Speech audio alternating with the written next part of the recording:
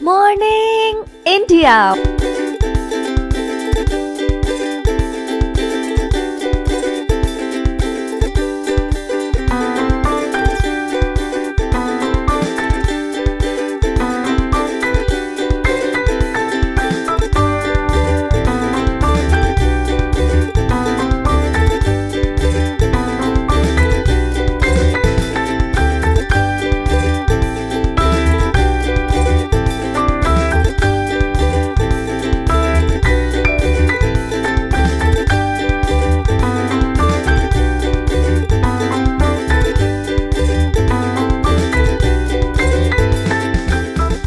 Monday to Friday back to back classes live from studio आज ही subscribe करें WiFi study channel को। और अच्छे वीडियो और कोर्सेज के लिए डिस्क्रिप्शन में दिए गए लिंक के द्वारा भी आप हमें अकेडमी पे फॉलो कर सकते हैं।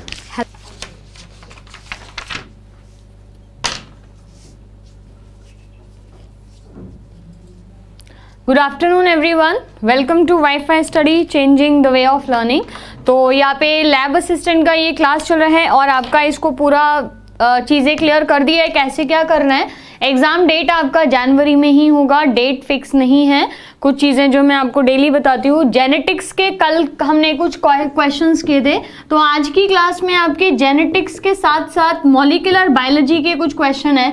या फिर मैं ये बोल सकती हूँ कि आज के कुछ क्वेश्चन जो है ना, वो बेसिक जेनेटिक्स के क्वेश्चन तो आपको कंप्लीट करा दिए हैं। आज के जो क्वेश्चन है, वो जेनेटिक इंजीनियरिंग के और मॉलिकुलर बायोलॉजी के क्वेश्चन होंगे। जैसे कि आ, कुछ क्वेश्चन कल था लाइगेस क्या होता है? मॉलिकुलर सीजर हम उसको बोलते हैं या स्टिचर हम उसको बोलते हैं। इस तरीके के कुछ क्वेश्चन आपने कल देखे थे। आज उन्हीं क्वेश्चंस को कंटिन्यू करें एंड आई प्रॉमिस यू कि तकरीबन तकरीबन मैं आपको 40 क्वेश्चन के आसपास जेनेटिक्स के कंप्लीट करा दूँगी ताकि आपको एग्ज़ाम में कोई थोड़ी सी इसमें डाउट नहीं आए। उससे रिलेटेड आज ये क्वेश्चंस हमारे चल रहे हैं।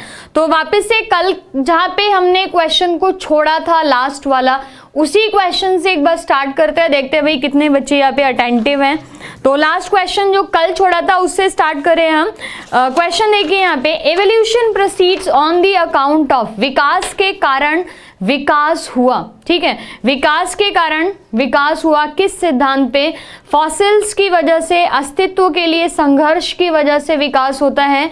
पीढ़ी के माध्यम से, अनुकूलन के कारण विकास होता है। या इवोल्यूशन सिंपली विरासत की वजह से होता है। तो क्या रहेगा आपका आंसर बताइए। जल्दी से आंसर आंसर करेंगे। और काफ़ी सारे क्वेश्चंस आज आपको कराने हैं तो उस हिसाब से। आज 40 क्वेश्चन देखो आपको कंप्लीट कराने हैं, ठीक है? और अब मेनली थ्योरी जो है वो काफ़ी कुछ आपकी कराई है। तो मेनली फोकस जो है ना वो आपके क्वेश्चंस पे करते हैं, ताकि ये जो आपका नवंबर का थोड़ा सा 15 दिन नवंबर और आपका ये जो दिसंबर का टाइम रहेगा ना तो ये डेढ़ महीने के तकरीबन हम केमिस्ट्री और बायो आपका पूरा कंप्लीट कर सकते हैं। फिजिक्स की क्लास तीन बजे चल रही है आपकी नीरज सर की। क्योंकि एज पर एज दो फैकल्टीज़ की आपको रिक्वायरमेंट थी तो इसीलिए नीरज सर से आपका कंप्लीट करा रहे हैं। बाकी एक दो टॉपिक जो रह जाएँगे, वो नीरज सर आपको बाद में कंप्लीट करा देंगे, ठीक है? आरपीएफ और ग्रुप डी की सारी इन्फॉर्मेशन आपको सुबह जो 12 बजे वाली क्लासेस होती है, उसमें मिल जाती है। आरपीएफ की जो आपकी क्लास है, वो सुबह में चल रही है। मतलब सुबह करंट अफेयर से लेके करंट जनरल अवेयरनेस तक सारा बैचेस आपका चल रहा है। ग्रुप डी की एनालिसिस बंद नहीं हुई है। ग्रुप डी की एनालिसिस चालू रहेगी आपकी, लेकिन एग्ज़ाम नहीं था इतने टाइम से तो सिर्फ़ एक ही दिन एग्ज़ाम था बीच में तो इसलिए नहीं हो रहा था। बिल्कुल, यहाँ पे सी जो है वो आपका करेक्ट आंसर होगा अडेप्टेशन थ्रू जनरेशन पीढ़ी के माध्यम से अनुकूलन। तो ये इसका पूरा मैंने आपको एक्सप्लेन किया था कि जब भी विकास होता है तो विकास हमेशा अडेप्टेशन के हिसाब से होता है। मतलब एवोल्यूशन जैसे कि आपने डायनासोर पता है ना आपको डायनासोर एकदम से गायब हो गए थे, विलुप्त हो गए थे। किस लिए?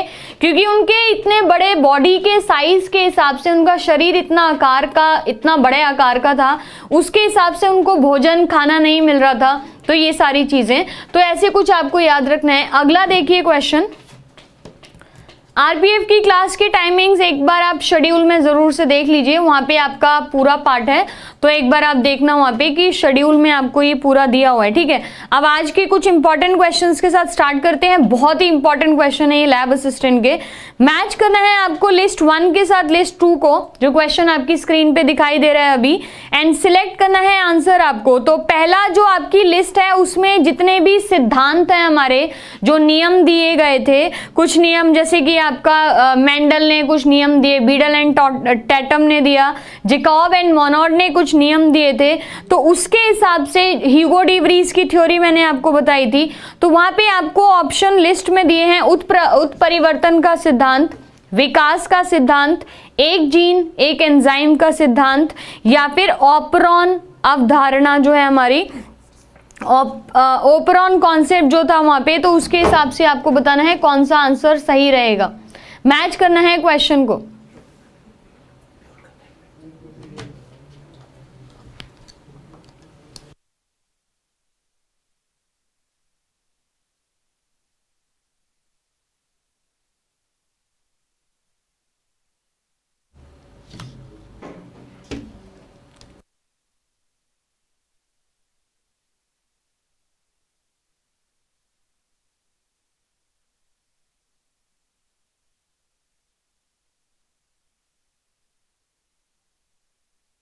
म्यूटेशन अगर हम बात करते हैं, जैसे कि आपको ए में ऑप्शन आपको यहाँ पे दिया है थ्योरी ऑफ़ म्यूटेशन किसके द्वारा दी गई थी? ह्यूगो डिवरीज के द्वारा दी गई थी, ये मैंने आपको काफ़ी बार पहले ही बता दिया है।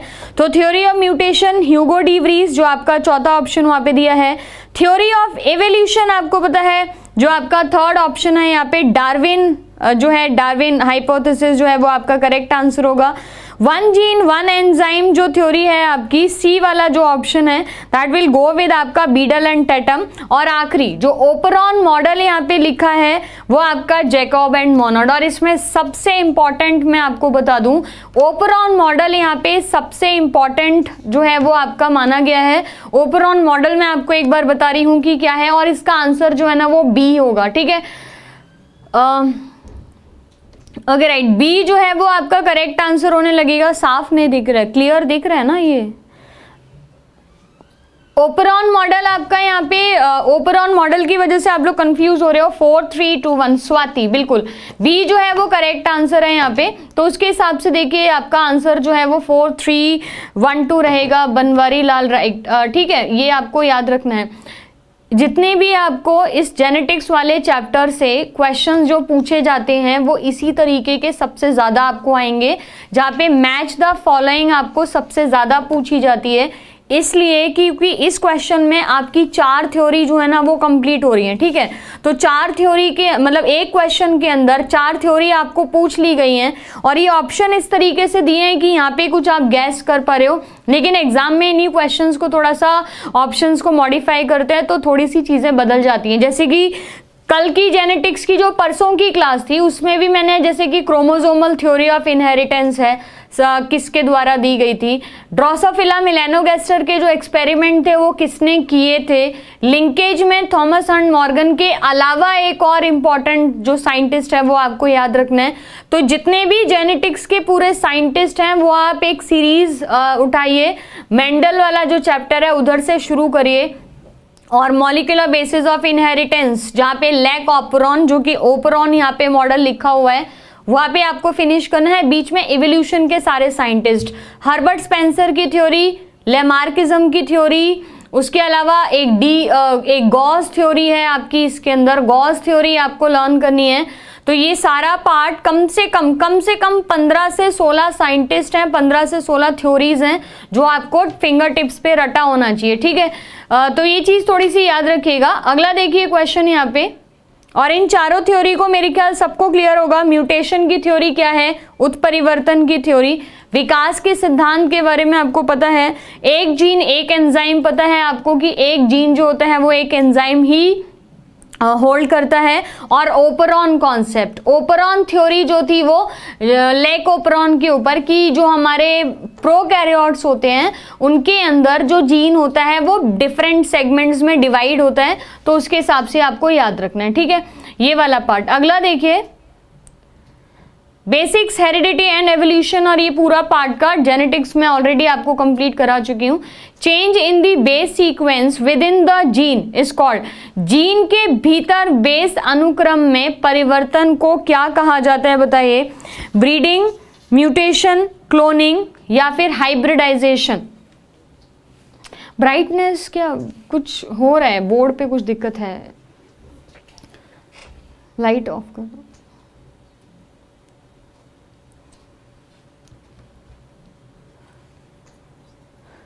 हम्म?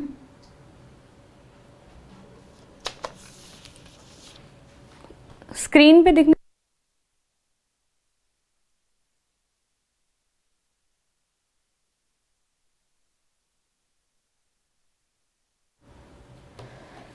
ओके राइट देखिए, यहाँ पे सबसे पहले अगर इस क्वेश्चन की बात करते हैं जो आपको यहाँ पे दिख रहा है, और मैक्सिमम बच्चे जो है वो सही आंसर देने लग रहे हैं प्रैंक का, बिल्कुल। आपका म्यूटेशन जो है वो बिल्कुल करेक्ट आंसर होगा, जो कि है आपका ऑप्शन नंबर सी यहाँ पे लिखा हुआ है। तो म्यूटेशन की डेफिनेशन जो है वो एग्जैक्टली exactly, म्यूटेशन की डेफिनेशन में सिर्फ़ आपको तीन वर्ड याद रखने हैं ब्रजेश पटेल। बिल्कुल करेक्ट आंसर है आपका। और तीन डेफिनेशन तीन वर्ड की आपको डेफिनेशन याद रखनी है। म्यूटेशन की डेफिनेशन क्या होती है? सडन हेरिटेबल चेंजेस ठीक है सडन हेरिटेबल चेंज और ये कल भी आपको बताया था हेरिटेबल बोले तो यहाँ पे डीएनए में कुछ भी बदलाव। अचानक से डीएनए के अंदर कुछ भी बदलाव आते हैं, जिसकी वजह से एक पीढ़ी से दूसरी पीढ़ी में बहुत ज़्यादा चेंजेस हो जाते हैं या बदलाव आ जाते हैं उनके लक्षणों को लेके तो इसको म्यूटेशन या उत्परिवर्तन बोला जाता है। ये जो पूरी थ्योरी थी वो ह्यूगो डिवरीज के द्वारा दी गई थी। तो मेरे ख्याल ह्यूगो डिवरीज से रिलेटेड आपको ये सारा कॉन्सेप्ट याद रखना है। तो आपका यहाँ पे म्यूटेशन सी जो है वो करेक्ट आंसर होगा। अच्छा यहाँ पे एक तो आप लोग आंसर देने पे ज़्यादा ध्यान दिया करो। कई लोगों को ये पता नहीं है क्लास किस चीज़ के लिए चल रही है। तो थम नेल पे लिखा होता है सब कुछ, है ना? तो फिर भी मैं आपको बता देती हूँ कि लैब असिस्टेंट जो कि आपका इक्कीस जनवरी जो है एक नॉर्मल एक्सपेक्टेड डेट है। ऑफिशियल मैं नहीं बोल रही हूँ एक्सपेक्टेड डेट है ये इक्कीस जनवरी। उसके आसपास ही आपका एग्ज़ाम ये होने वाला है तो ये राजस्थान का लैब असिस्टेंट के एग्ज़ाम की, साइंस की प्रिपरेशन हो रही है। दो बजे आपका ये अभी बायो चल रहा है, तीन बजे आपकी फिजिक्स की क्लास हो रही है। फिजिक्स के जो टॉपिक उधर से बच जाएँगे, वो आपको कंप्लीट कराए जाएँगे। उसके अलावा परसों की क्लास से आपका केमिस्ट्री शुरू हो रहा है, ठीक है? कई सारे बच्चे यहाँ पे केमिस्ट्री के लिए बात कर रहे हैं तो मैं आपको बता दूँ केमिस्ट्री की क्लास परसों से शुरू हो रही है, और केमिस्ट्री बिल्कुल जैसे कि आपके सिलेबस uh, में मेंशन करी हुई है ना आपके सिलेबस में केमिस्ट्री का पहला जो पॉइंट है वो एटम्स को लेके दिया है एटम्स एंड मॉलिक्यूल्स को। और आपके एग्ज़ाम में उनको कैलकुलेट करने के लिए आता है कि कार्बन डाइऑक्साइड के अंदर जिसका 44 ग्राम मास होता है उसके अंदर ऑक्सीजन की कितनी मात्रा होती है ऐसे कुछ क्वेश्चन आपको एग्ज़ाम में पूछे जाते हैं। तो आपका ये पूरा ठीक है, ये पूरा आपको वहाँ पे जाना है। तो परसों से केमिस्ट्री शुरू हो रही है। कल तक आपका यहाँ पे बायो के इंपॉर्टेंट क्वेश्चन होंगे। दूसरा चीज़, जो लोग बोलते हैं बायो ज़्यादा कराने के लिए तो बायो में ऐसा कुछ नहीं है। अभी टॉपिक बचे हैं आपके। तो केमिस्ट्री के बीच बीच में ना क्वेश्चंस मैं आपको कराती रहूँगी, जो बायो से रिलेट कर रहे होंगे। अभी ठीक है? अभी आप लोग क्वेश्चंस के आंसर पे ध्यान दोगे मेरे ख्याल, ठीक है? क्वेश्चंस को पढ़ो, उसको ध्यान दो। वीडियो का क्रैश कोर्स जल्दी शुरू हो रहा है। प्लस कोर्सेज आपके ऑलरेडी शुरू हो चुके मतलब रजिस्ट्रेशन शुरू शुरू हो चुका है सारे के सारे। बाकी कोई डाउट है तो आप कमेंट बॉक्स में पूछा करो। अभी let's pay attention towards answering the question ठीक है? अगला देखिए क्वेश्चन यहाँ पे। इसका आंसर आपका म्यूटेशन जो पिछला था। अगला देखिए। जीवित जीवों में से नई प्रजातियों की उत्पत्ति लाने के लिए निम्नलिखित में से कौन सा सबसे जिम्मेदार कारक है? आइसोलेशन म्यूटेशन नेचुरल सिलेक्शन या फिर आपका यहाँ पे चौथा ऑप्शन आपका रहेगा सेक्सुअल रिप्रोडक्शन अगर यहाँ पे हम बोलते हैं कि कुछ भी चेंजेस लेके आने हैं किसी भी लिविंग ऑर्गेनिज्म में तो कौन सा ऐसा फैक्टर है जो सबसे ज़्यादा नई स्पीशीज या नई प्रजातियाँ बनाने के लिए इंपॉर्टेंट होता है? क्लासेस के टाइमिंग लैब असिस्टेंट के सेम रहेंगे आपके। दो बजे ही क्लास होती है आपकी, दो बजे ही केमिस्ट्री की क्लास होगी। फिजिक्स की आपकी क्लास तीन बजे चल रही है, चल रही है अभी। उसी को कंप्लीट करें। फिजिक्स को चलते हुए एक हफ़्ता हो चुका है। नीरज सर आपको कंप्लीट करा रहे हैं यहाँ पे।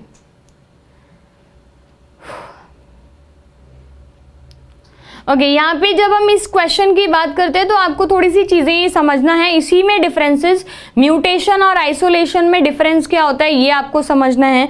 उसके अलावा आइसोलेशन और नेचुरल सिलेक्शन में क्या डिफरेंस होता है ये आपको समझ आना चाहिए। देखिए जब भी भी हम नेचुरल सिलेक्शन या फिर प्राकृतिक चयन की बात करते हैं इसका मतलब ये होता है कि हमारे वातावरण में जो भी कुछ बदलाव हो रहे हैं उनकी वजह से अगर हमारे जीन में कोई अंतर आता है ना तो ये होता है नेचुरल सिलेक्शन ठीक है?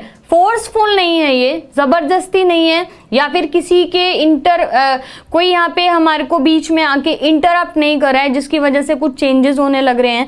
सिंपल चेंजेस हैं तो ये नेचुरल सिलेक्शन कहलाता है। लेकिन अगर हम आइसोलेशन जो कि इसमें पहला ऑप्शन है और इसका करेक्ट आंसर भी है यहाँ पे तो ये आइसोलेशन जो है वो क्या होता है? आइसोलेशन मतलब यहाँ पे अगर ये वर्ड आइसोलेशन लिखा है ना, या हिंदी में इसको अलगाव लिख दिया है तो ये यहाँ पे ये वाला आइसोलेशन जो आप समझो ये जोग्राफिकल आइसोलेशन की बात हो रही है कि जैसे कि आपको पता है एशिया जैसे कुछ टर्टल्स हैं है ना? कुछ ऐसे टर्टल्स होते हैं जो एक पर्टिकुलर एरिया में ही उग एक पर्टिकुलर एरिया में ही ग्रो करते हैं, बढ़ते हैं। उनको अगर आप किसी और जोन में डालोगे तो वो नहीं ग्रो करेंगे। जैसे कैंगरूज की आपको पता है ऑस्ट्रेलिया से पाँच कंगारू इंडिया खरीद के लेके आई थी और उसको वेस्ट बंगाल का जो हमारा जू है, सबसे बड़ा क्यू जो गार्डन है हमारा, उसके अंदर रखा था। लेकिन विद इन वन मंथ और वन एंड हाफ़ मंथ सारे के सारे जो कंगारू थे ना, उनकी डेथ हो गई थी।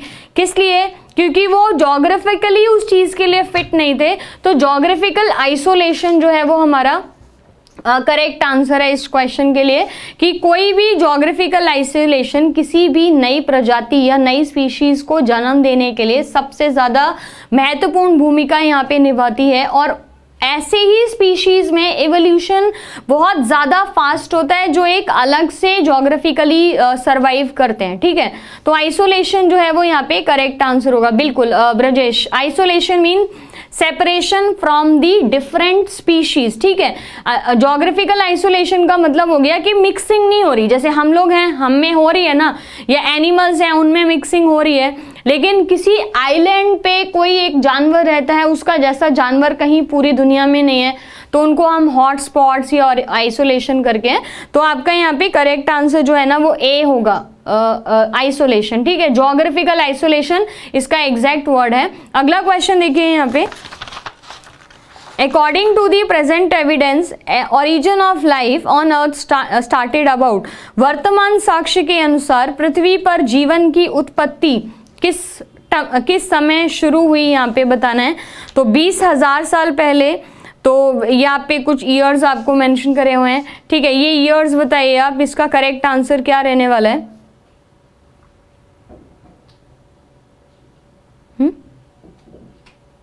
दिख रहा है ना अभी?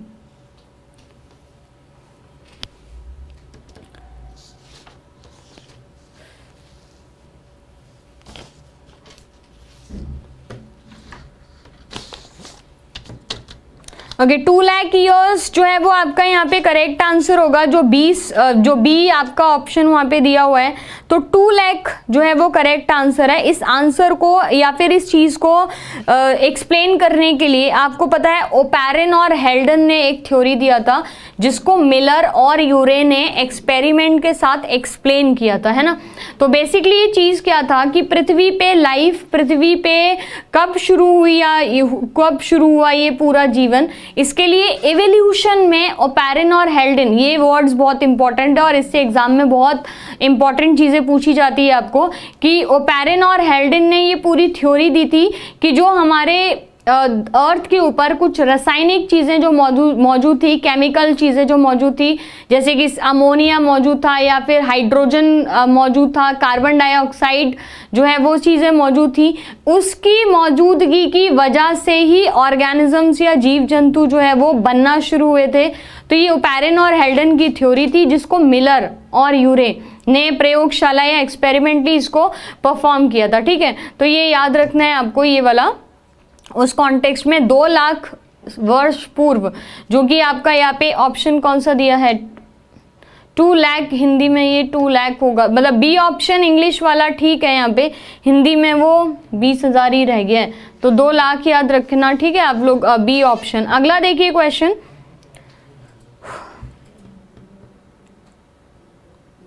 Okay, the mutation theory of evolution was enunciated by उत्क्रांति की, उत्क्रांति के परिवर्तन सिद्ध उत्परिवर्तन सिद्धांत द्वारा अनुकरण अनुकरण किया गया था।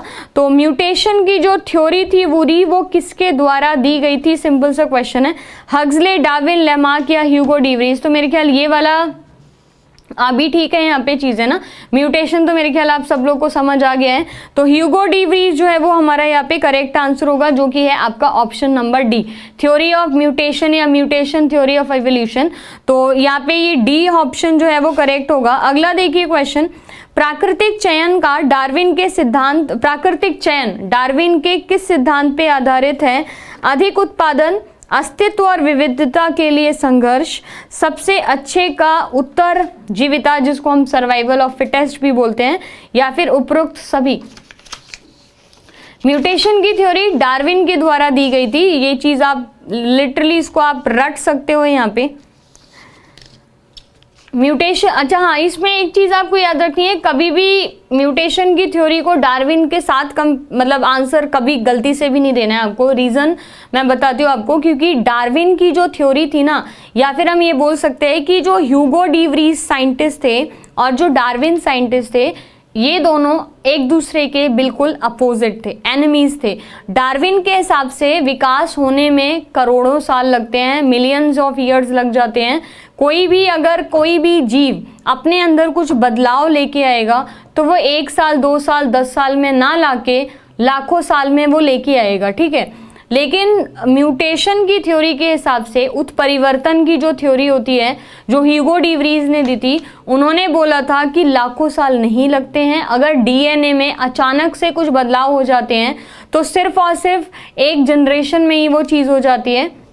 तो उसके हिसाब से आप आंसर याद रखिएगा इस क्वेश्चन की अगर हम बात करते हैं कि जो नेचुरल सिलेक्शन डार्विन की जो थ्योरी थी, वो इन तीनों चीज़ों पे डिपेंड थी। मतलब नेचुरल सिलेक्शन जब डार्विन ने दिया था तो सर्वाइवल ऑफ़ फिटेस्ट अस्तित्व और विविधता के लिए संघर्ष अधिक उत्पादन ओवर प्रोटेक्शन ओवर प्रोडक्शन इन सब के लिए वजह से ही नेचुरल सिलेक्शन जो था वो डार्विन का बेस था।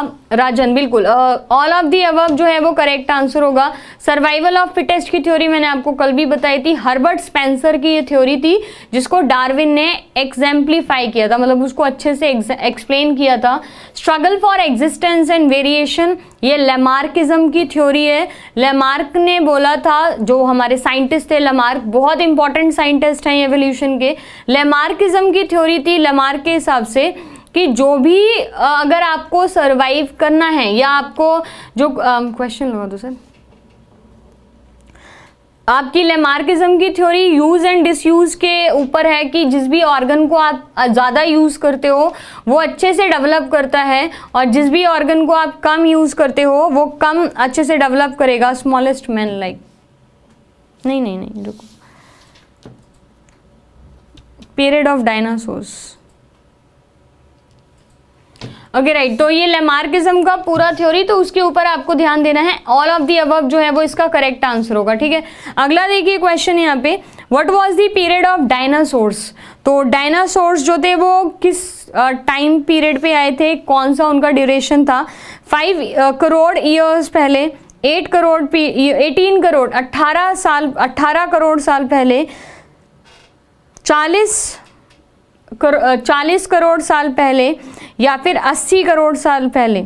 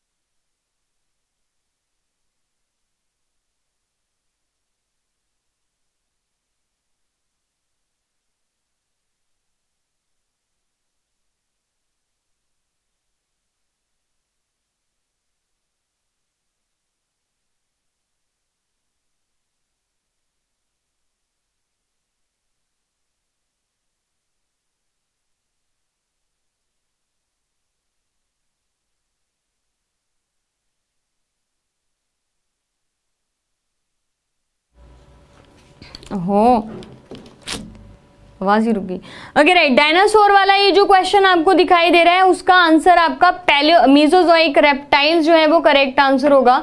मीजोजोइक रेप्टाइल्स डायनासोर्स रेप्टाइल्स थे, सबसे पहली चीज़ जो क्रोकोडाइल था जैसे, वैसे ही डायनासोर्स थे, लेकिन उनकी शरीर का आकार जो है वो बहुत ज़्यादा बड़ा था। और आपको याद रखना है सीनोजोइक कभी आंसर नहीं करना है। मीजोजोइक एरा को डायनासोर्स जो है ना, वो बिलोंग करते थे। डी जो है ना, वो आपका करेक्ट आंसर होगा। अगला देखिए क्वेश्चन मेमोथ नाम सुने होंगे आपने मेमोथ वाला।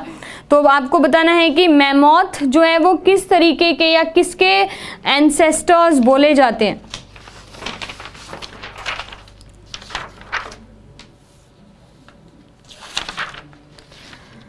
डॉग के हॉर्स के कैमल के या फिर एलिफेंट के?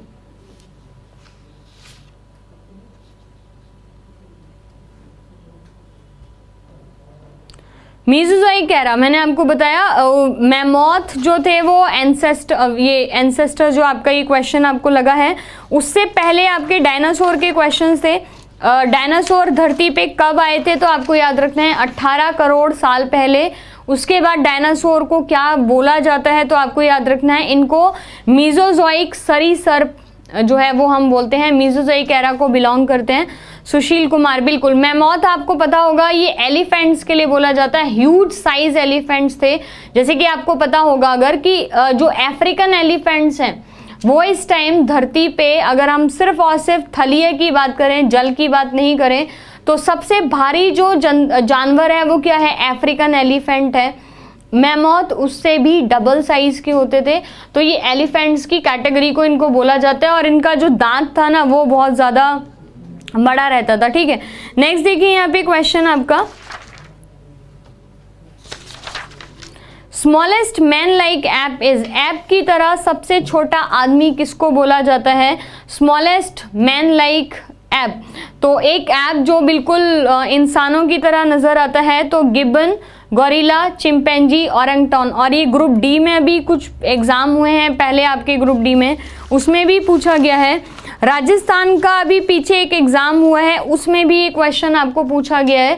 तो ये आंसर क्या रहेगा बताइए? स्मॉलेस्ट मैन लाइक ऐप ऐसा एक ऐप जो एप एप ऐप नहीं एप एप ऐसा एक एप जो इंसानों की तरह दिखाई देता है।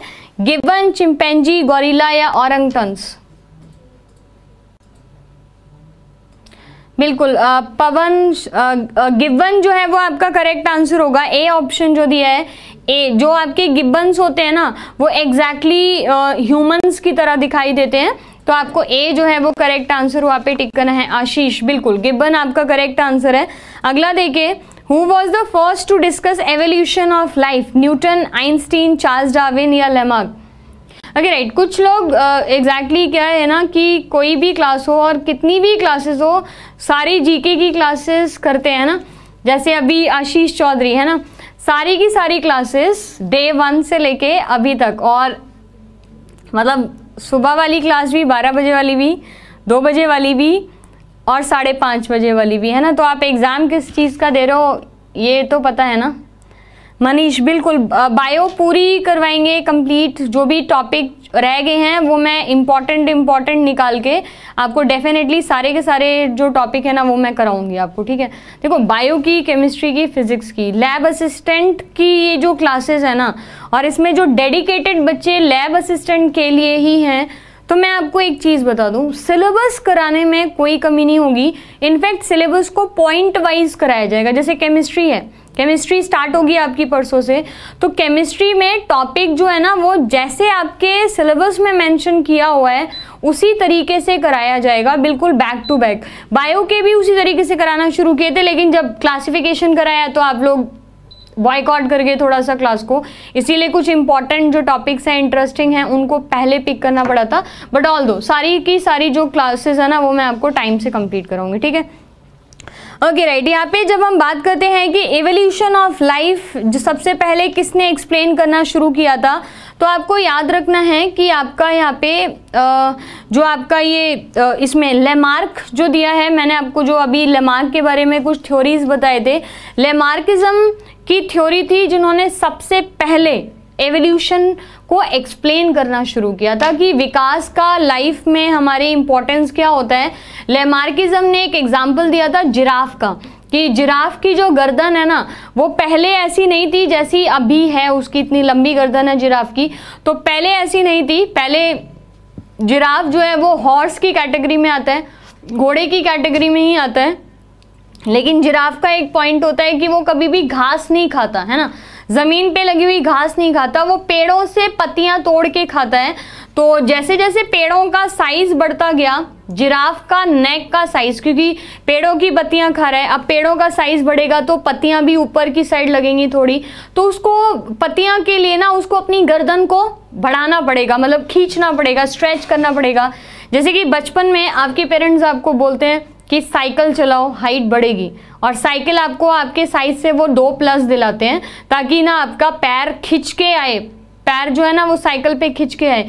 तो ये एक आ, मैं इसको यहाँ पे आपको एक्सप्लेन कर सकती हूँ कि ये एवोल्यूशन आपने एक छोटे पॉइंट पे देखा कि अगर आप साइकिलिंग करते हो बचपन पे, अपने से दो प्लस की साइकिल चलाते हो तो आपकी डेफिनेटली जो हाइट है ना, वो बढ़ती है। तो उसी तरीके का कुछ कॉन्सेप्ट लमार्क ने बोला कि जिस ऑर्गन को आप ज़्यादा इस्तेमाल करोगे, वो ज़्यादा अच्छे से डेवलप करेगा, जिसको कम करोगे, वो खराब होता जाएगा, जैसे कि ईयर पिन्ना या फिर वर्मी फॉर्म अपेंडिक्स ह्यूमंस में टेल टेल का कोई इस्तेमाल नहीं है ना हमारा तो टेल्स है भी नहीं। लेकिन टेल बोन मौजूद है, ये पता है ना आपको?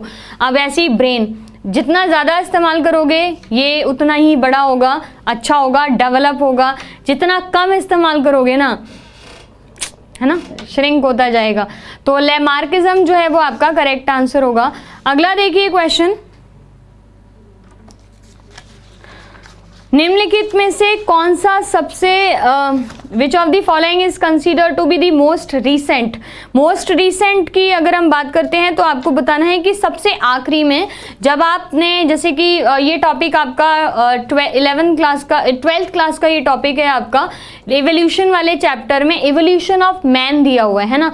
तो आपको बताना है कि सबसे आखिरी में इसमें कौन सा मैन जो है वो आपका आता है, और यहाँ पे अगर हम ले, सबसे इस इस ऑप्शन की बात करते हैं।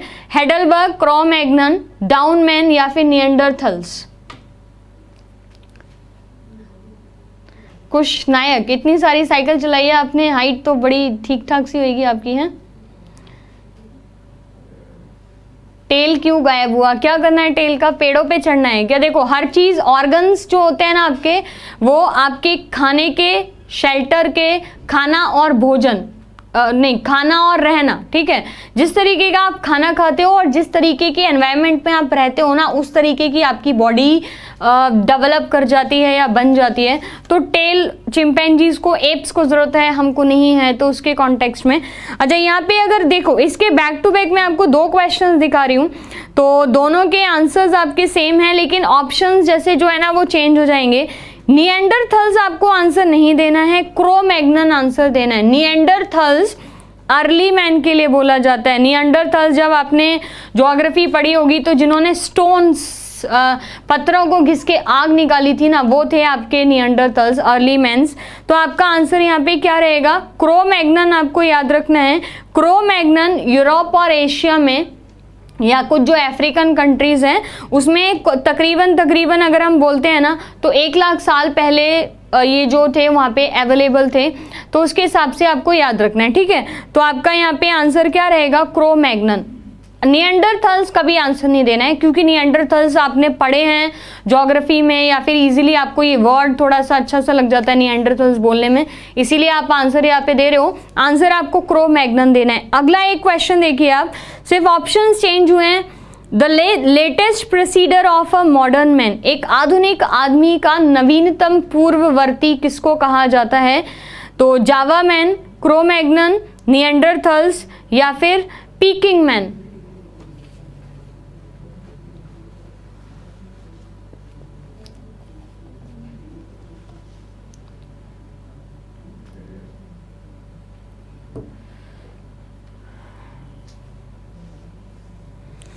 आज यहाँ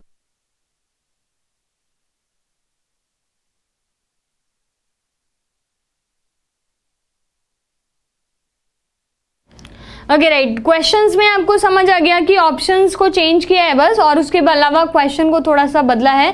लेकिन आंसर आपका क्या रहने वाला है? क्रोमैग्नन बी ऑप्शन जो है वो आपका करेक्ट आंसर होगा। अगला क्वेश्चन देखिए। Okay archaeopteryx is a connecting link between which of the following classes of animals archaeopteryx एक चिड़िया थी जो हमारी सबसे बड़ी चिड़िया इसको बोला जाता है। मतलब इसके जो जो इस 150 मिलियन ईयर एगो पहले मतलब 150 मिलियन ईयर्स एगो पहले ये जो uh, 1860 सेंचुरी में इसको एक्सप्लेन किया गया था। तो ये एक बहुत बड़ी सी बर्ड बोली जाती है। ये एग्जैक्टली exactly किसके बीच में लिंक है आपको बताना है? तो किन के बीच में ये कनेक्टिंग लिंक है? एम्फीबियंस और एव्स के बीच में रेप्टाइल्स और एव्स के बीच में रेप्टाइल्स और मैमल्स के बीच में या फिर एव्स और मैमल्स के बीच में? एग्जैक्टली exactly, पवन यहाँ पे आपको ये आंसर में याद रखना है कि जब भी आपको ये क्वेश्चन आएगा तो रेप्टाइल और एव्स जो है वो यहाँ पे करेक्ट आंसर होगा। आपका बी जो है वो करेक्ट आंसर है। ये रेप्टाइल और एव्स के बीच में है इसके जो पैरों की आ, बनावट थी जो इसके पैर थे वो रेप्टिलियंस की तरह थे। लेकिन इसके पंख का साइज़ इतना बड़ा था जिसकी वजह से ये सबसे बड़ी चिड़िया बोली गई थी। एव्स जिसको बोला जाता है तो बी जो है ना वो आपका करेक्ट आंसर होगा। अभय शर्मा बिल्कुल बी अगला देखिए question with reference to the evolution of living organism, which one of the following sequence is correct? जीवित जीवों के विकास के संदर्भ में सबसे जो यहाँ पे अनुक्रम दिया हुआ है, वो कौन सा सही है? मतलब कौन सी चीज़ें किसके बाद आती हैं एवोल्यूशन में? ऑक्टोपस के बाद डॉल्फिन उसके बाद शार्क पेंगोलिन के बाद टॉर्टोइज उसके बाद हॉक सेलेमेंडर के बाद पाइथन उसके बाद कैंगरू और उसके बाद फ्रॉग क्रैब और प्रेरॉन इसमें कौन सा सीक्वेंस बताओ आप? बिल्कुल ठीक है। अब यहाँ पे आपको कुछ चीज़ें याद रखनी पड़ेंगी कि वो एक ही क्लास के हैं कि नहीं? ऑक्टोपस डॉल्फिन और शार्क ये कुछ भी मैच नहीं कर रहा है। ऑक्टोपस हमारे अकशेरुकी जानवर बोले जाते हैं इनवर्टिब्रेट जबकि डॉल्फिन और शार्क जो हैं वो आपके फ़िश और मैमल्स को बिलोंग करती है। पेंगोलियन टॉटॉइज और हॉक ये भी तीनों अलग हैं यहाँ पे। सेलेमेंडर पाइथन और कैंगरू ये आपको याद रखना है सेलेमेंडर पाइथन और कैंगरू एवोल्यूशन के हिसाब से बिल्कुल करेक्ट जा रहा है ठीक है? तो आपका यहाँ पे सी जो है पवन बिल्कुल सेलेमेंडर पाइथन और कैंगरू जो है वो बिल्कुल करेक्ट आंसर है पवन श्रृंखला। ओके राइट सी ये आपका सी जो है वो करेक्ट ऑप्शन है। अगला देखिए क्वेश्चन यहाँ पे। आर्क्यूपेटेरिक्स कहीं नहीं पाई जाती है वो एक्सटेंट हो, हो चुकी है। विलुप्त है ये।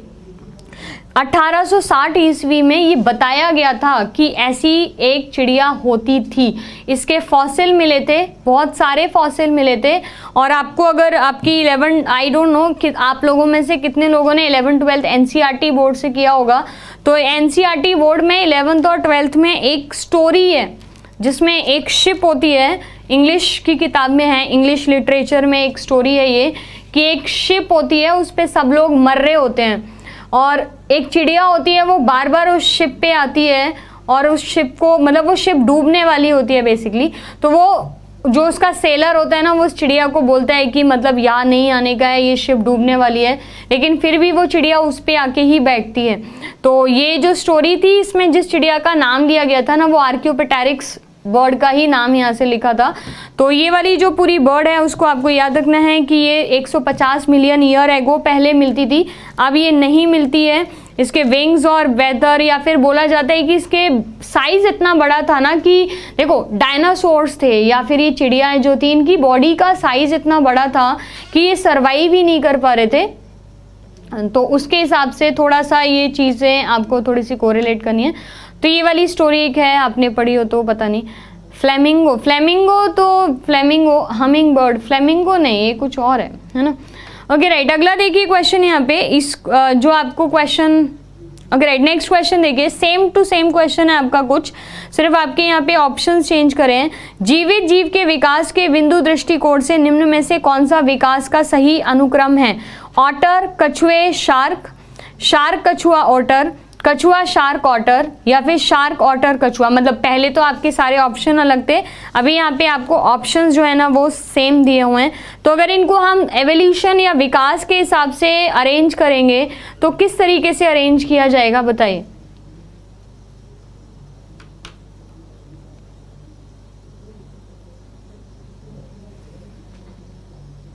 एवोल्यूशन के हिसाब से इनको अरेंज करना होगा तो कैसे अरेंज करेंगे, बताइए?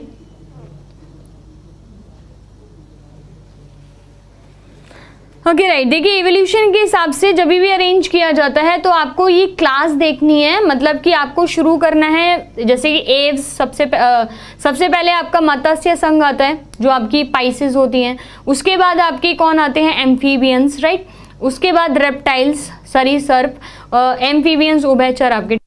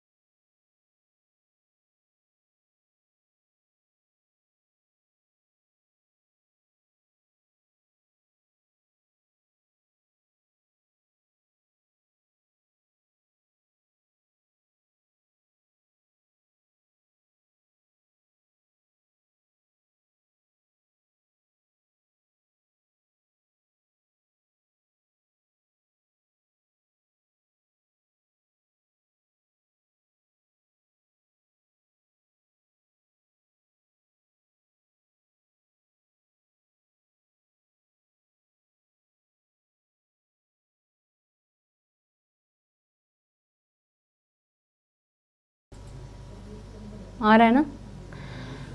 ओके राइट लिखा ना मैंने यहाँ पे माइक मैंने नहीं खराब करा, ठीक है? सेल वीक नाम की कोई चीज़ होती है ना तो सेल वीक हो जाते हैं, ऐसा कुछ।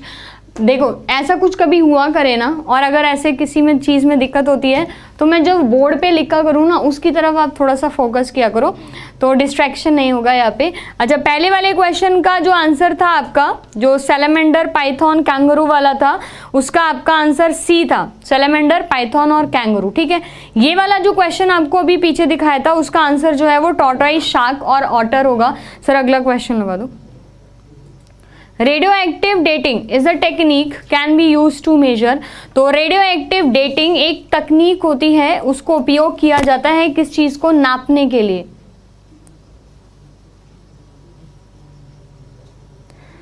चट्टानों की उम्र के लिए, चट्टानों की संरचना के लिए, चट्टानों के रंग के लिए या फिर चट्टानों के वज़न के लिए। तो अगर आपका यहाँ पे क्वेश्चन है कि रेडियो एक्टिव डेटिंग को किस चीज़ के लिए इस्तेमाल करते हैं तो क्या करेक्ट आंसर होगा आपका?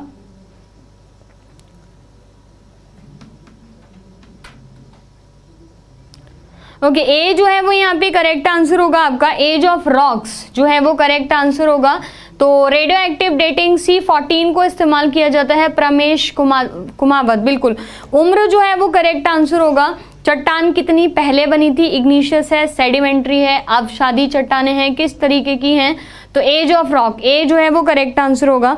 अगला देखिए क्वेश्चन आगे की ये आपके जो पाँच छह क्वेश्चन हैं, ये आपके बेसिकली हैं बायोटेक्नोलॉजी से या फिर जेनेटिक इंजीनियरिंग से। तो आप इसका आंसर दे दीजिए, बाकी के क्वेश्चन जो है वो कल करेंगे तो जो क्वेश्चन अभी आपको दिखाई दे रहा है, वो आपका यहाँ पे लास्ट क्वेश्चन है आज की क्लास का। देखो, एक क्वेश्चन दिया है, जिसमें आपको चार चीज़ें दी हैं। ब्लड के सेल्स दिए हैं मतलब रक्त कोशिकाएँ। हड्डी के कोशिकाएँ दी हैं बोन सेल्स हो गया।